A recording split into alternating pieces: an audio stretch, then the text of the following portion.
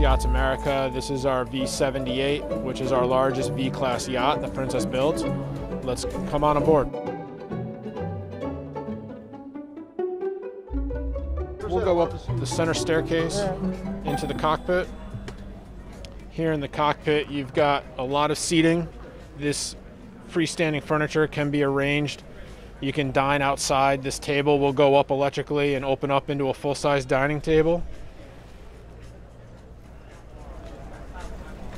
On the starboard side here, you do have a, a grill and a, and a cool box. So if you're entertaining outside, you can cook outside.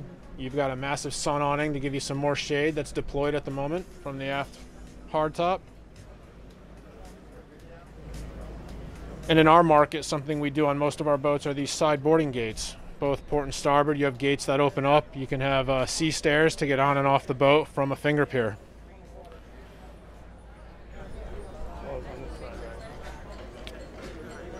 Inside, as we step into the interior of the boat, you've got the galley positioned right here to starboard. This boat features a sub-zero refrigeration. It also has a Miele speed oven.